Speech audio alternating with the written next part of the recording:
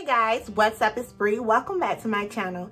So today guys, I'm going to be showing you how to get this simple, simple eye look and makeup look um, this is like a going out type of look for me. You can go out to brunch, you can go out to lunch, you can go out to dinner.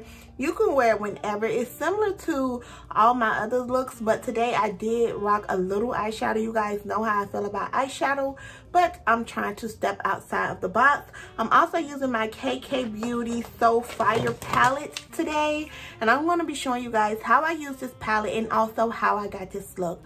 So if you guys are interested in this video, go ahead and continue to watch. I love you and I'll talk to you later. Bye. Okay guys, so I'm gonna show you guys how I get this eye. I'm gonna use the KKW Beauty palette. Which one is this? It's called the So Fire palette. Looks like that. So I'm gonna first take this color here and I'm gonna use that all over as a transition transition color. I'm using a fluffy brush. This brush is from Morphe. I mean Crown. And this is C529. But I promise I will be leaving everything down in the description box this time, guys. So I'm just taking the same color right here. And I'm just building it up building it up right here on my eye coming up to the eyebrow area like so. Then I'm going to take another blending brush and I'm going to use more so of this darker orangey type of color. Dust it off a little bit.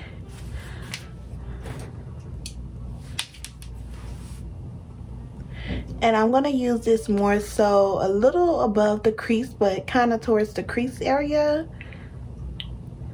circular motions. So I'm building up the color as you guys can see. Just building up the color.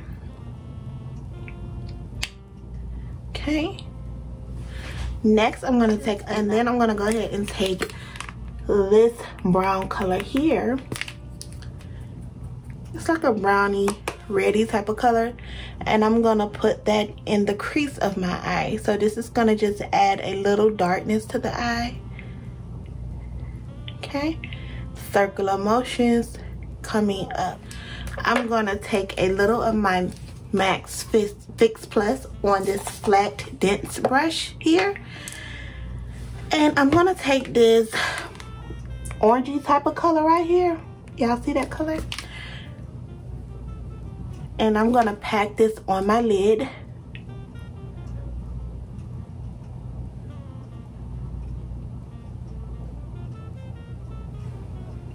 I'm not doing a cut crease I'm just coming up a little above my lid a little bit. And we're gonna take this yellow golden color kind of reminds me of trophy wife by Fenty. And we're gonna put it towards the beginning of the eye overlapping the orange color don't worry about the edges. We just want to build the pigmentation up right now. Now I'm going to go ahead and take my blending brush, dust it off a little bit, and I'm going to blend the edges out so it can be very seamless. So I'm just going to go back over it with the orange color a little bit, the orange bronzy type of color.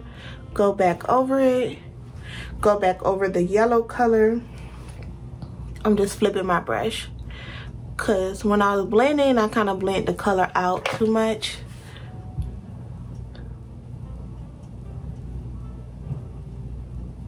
I know it's not looking as good right now but trust me once it's all done it's gonna look good. That's one thing about eyeshadow.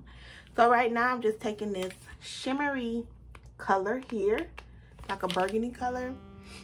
And I'm just putting it towards the end of the eye, like in the crease kind of, but only towards the end of the eye, like so. I'm gonna go back in that brown color right here, and I'm gonna deepen the crease.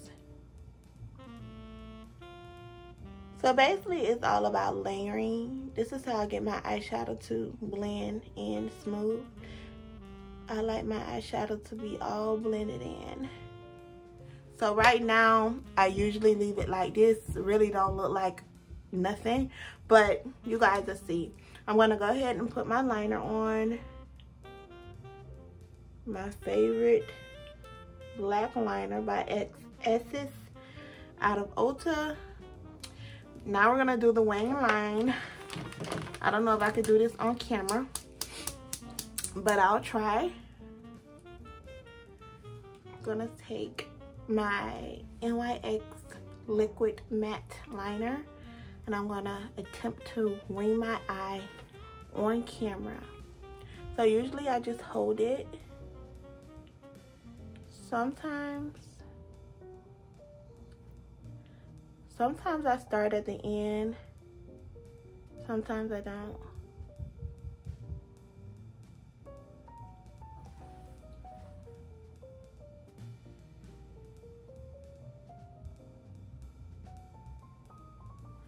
Want this liner to be a little thick. Okay guys, so my lashes are on and they are pretty big.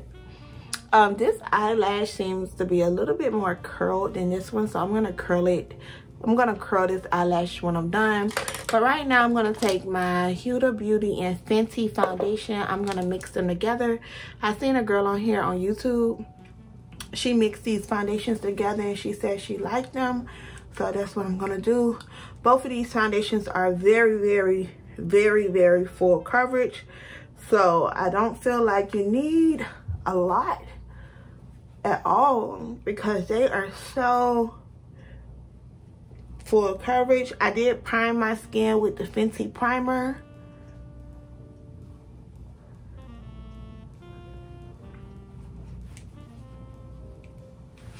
Oh, that is full coverage. Very, very full coverage. I'm gonna, after I'm done, I'm gonna take a beauty blender and make sure I blend everything out. Take a little bit more of this Fenty foundation and the Huda foundation. Looks pretty.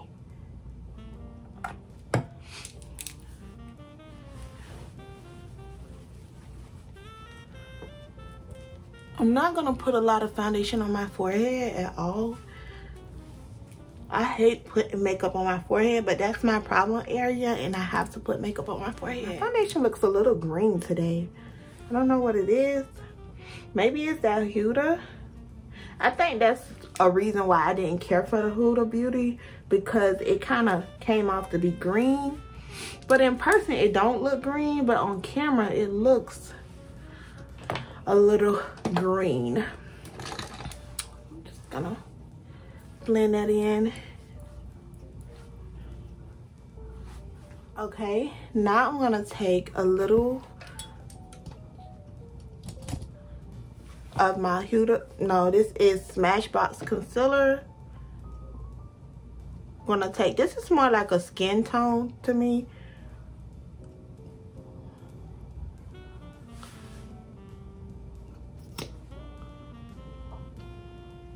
Like more of my skin tone. It's like one shade lighter than me. Okay, I'm gonna go ahead and blend this concealer out. I've been learning a lot of new things when it comes to my makeup. Um, like I've been looking at like a lot of videos on Instagram on like how like some artists like celebrity artists not even celebrity artists but really good artists um do makeup. And I just want to apply some of the techniques like just to switch up my makeup. I really like the way i do my makeup but you know i always like to learn more about makeup artistry. I do feel like i want to start using more blush and i also want to start contouring more? Because i feel like i don't contour as much.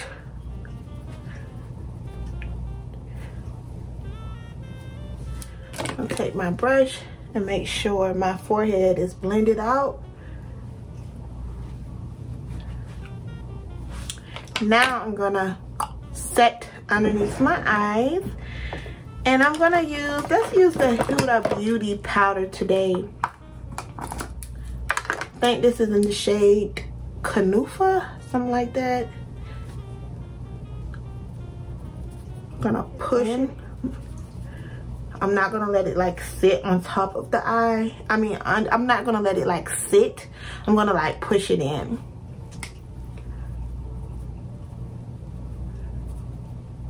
So I can like set the concealer and not just sit on top of the concealer. I still haven't contoured my face yet. That's okay.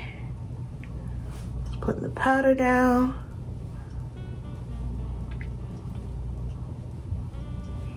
I love using a lot of powder, y'all. Because it just make your face look so flawless. Okay, so now it's time to contour. I'm gonna only, I think I'm gonna contour using this Fit Me powder. I always use this.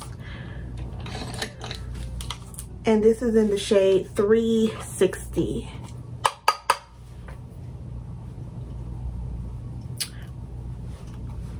I wouldn't even say I'm contouring. I would say I'm more like bronzing up the skin.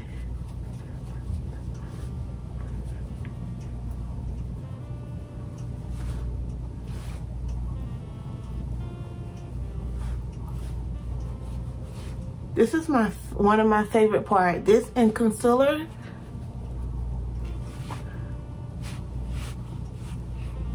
I love to chisel up my face.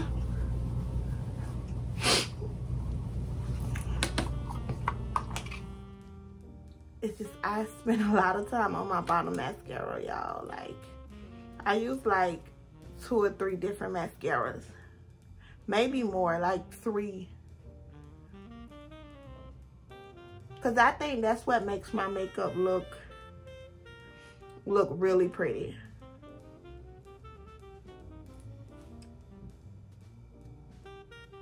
Like, it's a must-have. So I do a layer of this mascara, this mascara, okay? Then I go and take these fibers. Um, this is from a company that's called um, Campfire. I don't know. I'll leave it down below. And these are like fibers, like they're like loose hairs, like hair type of fibers. I don't think they're real hair, but it looks like hair. But I use them on my bottom lashes and it makes my bottom lashes look so full like I have on fake bottom lashes. So many people be like, oh my gosh, Bree, what kind of lashes are you wearing at the bottom? And it's like, I'm not wearing any lash at the bottom. You, you see like how the bottom lashes instantly like amp the look up? Then after I put those fibers on, I seal it. I'll go back with the mascara and seal it. Because I want them to kind of be stuck on there. I don't want them to just fly off. Because sometimes if you don't seal it with like another mascara, it'll kind of like fall over your fall all over your face. Oh my gosh, my bottom eyelashes bitch, are so pretty. Makes the look look more dramatic.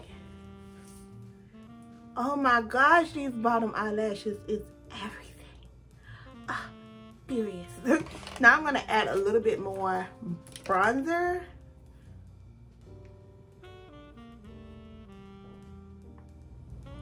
I am not overdrawing my lip. I'm just going right on my lip line. I have very full lips.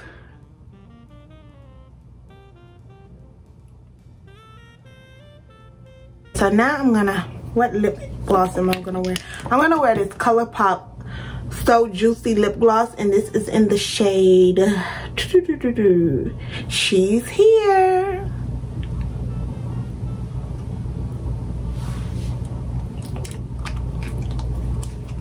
So pretty.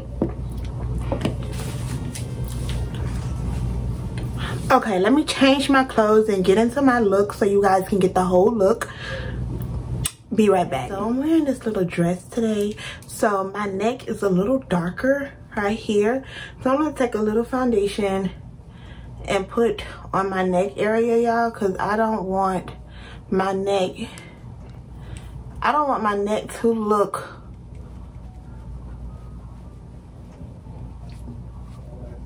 like so darker than my face. I don't know, y'all. It just happens. I don't know how it get like that. This dress is cute, but it always come down. I got this dress from Pretty Little Thing. By the way, I don't want to wear much, but I just want to wear something to like now. I'm gonna say spray some setting spray on this and I'm gonna put a little glow on my neck because my show my all of this is out and I want it to look really pretty. So I'm gonna take some of my Fenty balm. I'm gonna start off with that and then I think I'm gonna mix the trophy wife with it to get this particular glow that I like to go for. So give me a minute. This is a really pretty balm is so diamondy. Like this is so i think this is called diamond Diamond Bomb oh my gosh i get so many compliments when i wear this y'all. And i only really wear it when my shoulders and chest is out like this. It is so pretty. It's not probably even showing on camera but it just make my body look wet. Okay guys so that's it for my makeup tutorial on this nice little I guess sunset type of look. If you guys enjoyed this video and you feel like it was helpful, please thumbs this video up. I love you guys so much and thank you guys so much for watching this video. Bye.